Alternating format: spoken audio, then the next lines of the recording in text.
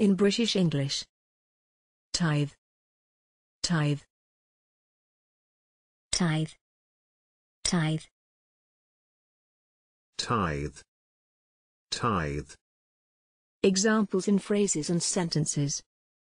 He hadn't said a tithe of the prayers he knew. He tithes 10% of his income to the church.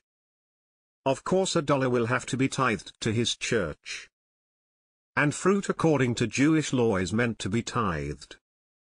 In recent years, Trinity has encouraged members to tithe.